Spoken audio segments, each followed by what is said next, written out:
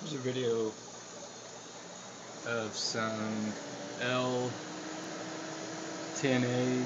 the red red lizards I just got uh, today. There's a female, and uh, there's a male back there. Sorry for the stuff on the glass. There's a male and a, another male. Um, yeah, oh, that glare is terrible. Um, there's a, anyway, there's a female there on the uh.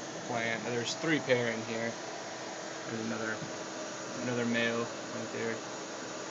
But uh, just got, like I said, three pair in this tank. Uh, started off with this pair that I have.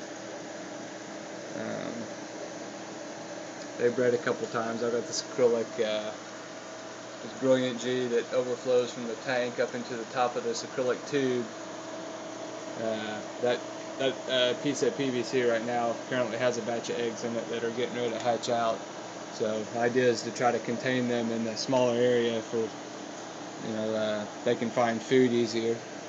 But uh, they're, they're currently kind of hanging out, hanging out uh, right down there. I don't know if you can see them besides the stuff on the glass.